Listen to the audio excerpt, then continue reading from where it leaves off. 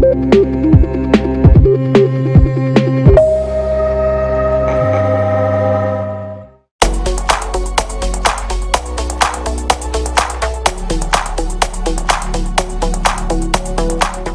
Ekonomi digital di Indonesia kini disebut sebagai kekuatan baru perekonomian nasional. Bahkan selama pandemi COVID-19 ini telah mendorong akselerasi adopsi teknologi digital berbasis aktivitas masyarakat.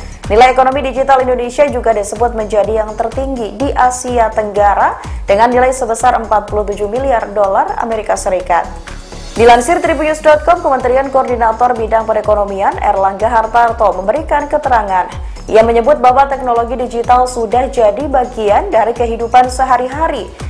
Hal itu pun membuat ekonomi digital tampil sebagai suatu kekuatan. Bahkan di tahun 2020, ekonomi digital di Indonesia menjadi yang tertinggi di ASEAN. Tingkat pertumbuhan pun mencapai 49 persen.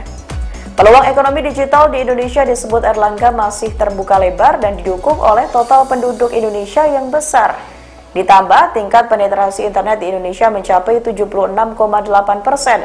Dengan pengguna internet tahun ini sebanyak 202,6 juta orang atau meningkat 11 persen dari 2020 lalu.